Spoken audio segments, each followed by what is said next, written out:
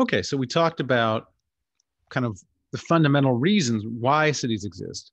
Now we're going to think about where, like what are the location, uh, what determines the location of uh, of cities. Okay. All right. Now, so there are some kind of different theories. One is location fundamentals, that there are something special about that location. For instance, New Orleans is located at the end of the Mississippi, where the Mississippi uh, hits the ocean. Um, so that's something special about that location. You know, uh, San Francisco. You know, there's something special about San Francisco. It has access to this great um, harbor. Another theory would be like, you know, yeah, those are important, but really, once the city gets going, it's really the increasing returns of scale.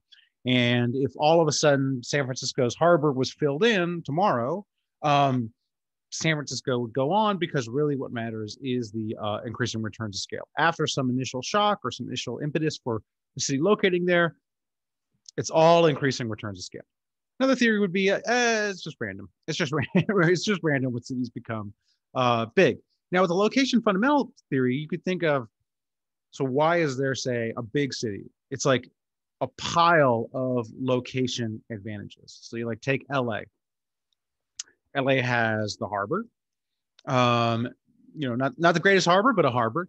Um, LA uh, has a river um, that at one point was semi-useful for trade. Um, LA has um, this quirk of history where the film industry is here. LA has this other quirk of history where the aerospace industry uh, is, is is located here. And then LA also has ocean and nice weather, which make it a place people want to live outside of all those other things. And so it's just like a stack of location advantages that lead to a super large city. You could stack those up with New York too, as, as to why perhaps New York is uh, a, a large city. Okay. All right. So the city, so the theory is there's some sort of valuable resource, okay, whether that be a tangible resource like oil or gold or something like that, or something like weather, nice weather. Um, okay, so our key, typically our, our key ones throughout history are water, um, just makes it easy to uh, transport thing, and then of course other other types of resources.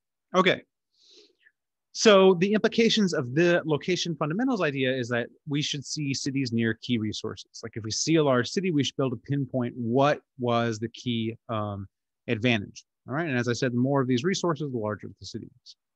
Now, these cities should be there as long as the resource remains valuable. And if the resource goes away, these cities should decline in importance. All right. So let's look at the first implication. Cities should be near key uh, resources.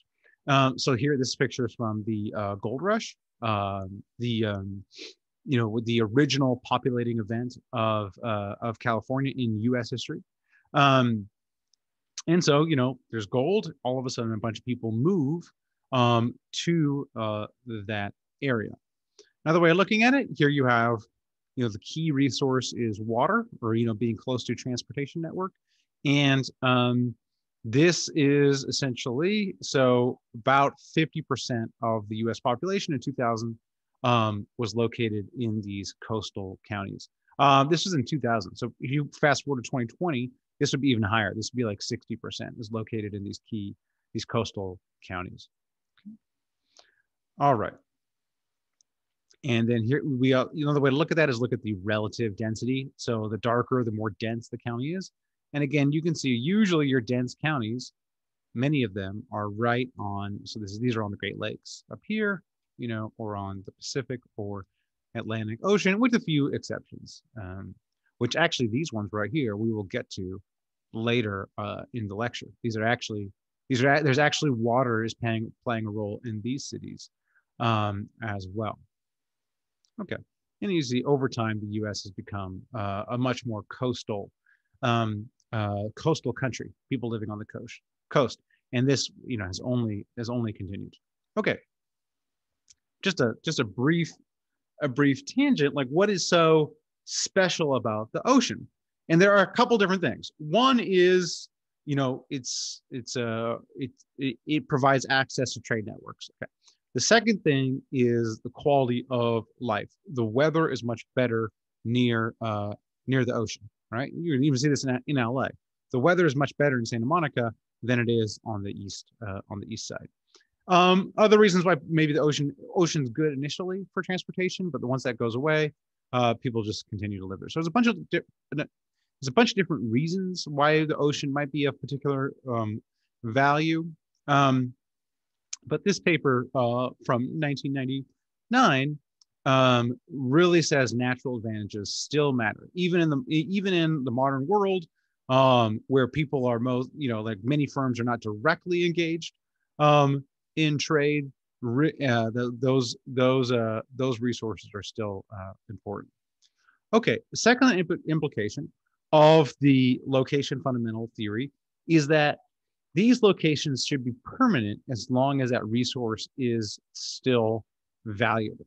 Okay, and so if we want to test uh, this idea, what we need is some sort of uh, shock, something where uh, you know the city size goes down for some reason, and then we want to see if like this, you know, we're running running running an experiment experiment about loca- location fundamentals. What you want is, you know, a city that has good location fundamentals, like it's near some key resources, and we want to somehow get rid of the population and see if it comes back. And you know take a you know then have like some sort of control group um, where that doesn't happen. Um, that would be kind of the key experiment that we would like to run. Now of course we can't do that experiment in the real world but what what economists and economic historians do is they look through history. So they see if there's some sort of historical episode or natural experiment that kind of mimics your idealized laboratory uh, experiment and so World War II provides such uh, an experiment. And so what happened in World War II, you know, many cities were bombed, um, were decimated. They're essentially bombed uh, into nothing. And so this is a super famous paper um, from 2002 by Davis and Weinstein. And what they do is they basically use Japan as that setting. Um, and so Japan is a very developed country um, at the onset of World War II.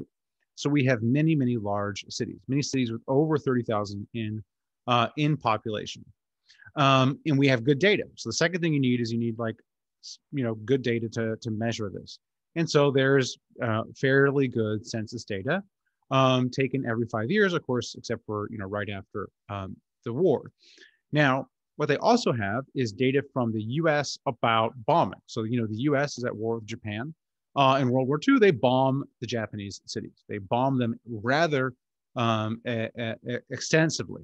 All right. So, in many of these, uh, so we got 66 cities which the U.S. had basically targeted for bombing, um, and um, we have about half half the structure destroyed. Um, Two thirds of the productive capacity destroyed. We have uh, you know, 300,000 people died. 40,000 of the population lost their homes uh, 40% of the population lost their homes. And, you know, in some cities, you have like half the city um, uh, dies as a result of these bombing campaigns. Um, and so, you know, kind of the median is that half of the area was destroyed. And you have variation though, too. So, you know, basically all of Tokyo is leveled and much of it is leveled in one night, the firebombing of Tokyo. So I don't know how much World War II history you guys are familiar with, but, you know, of course, everyone kind of knows about uh, Hiroshima and uh, Nagasaki um, which were hit with the uh, atomic bombs and you know completely decimated.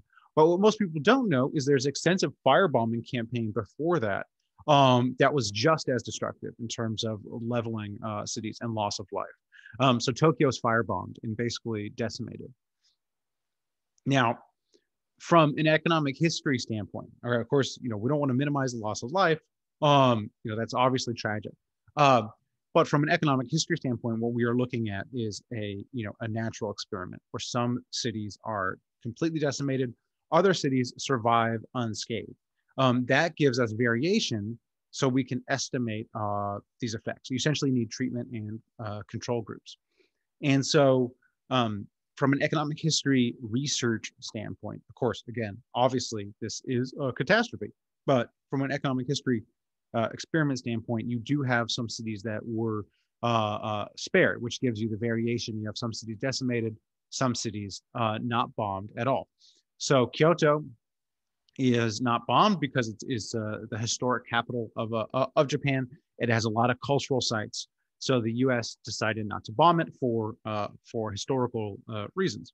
You have Niigata and Kitakyushu, now, they are not bombed either because they are preserved as potential uh, future uh, targets for the atomic bomb. Uh, Sapporo was, uh, or Sapporo uh, was um, escaped because it was too far north. So the bombers can't, uh, can't reach it. Okay. There's also variation in the US improves its techniques. So cities that were bombed later in the war suffered much more than cities that were bombed earlier in the war. So what this gives the researcher is you have some cities that are unscathed some cities that have a little bit of bombing, some cities that have a lot of bomb, bombing, and then some cities that are completely decimated. So you have variation in the extent of um, uh, uh, of uh, of the destruction. Okay, now we're going to get into the model that the paper uses. We'll take a break before we get hit with a ton of a uh, ton of math.